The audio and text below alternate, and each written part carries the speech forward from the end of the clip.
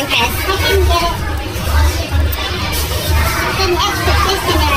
I can get cardio.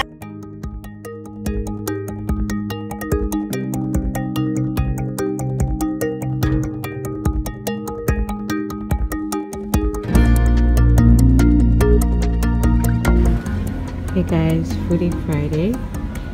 Uh, rotation Pokeball. Sorry guys, I already shook it. So sorry about that. Watching. Um, at school right now. You guys can see. I went to Uncle Ted's earlier. Uh, yeah. And let's try this. So I have a bunch of different sauces. It's salmon. I have there. I have mango, corn. I have tomato. I have a cucumber. I have like red onions um, a bunch of stuff going on and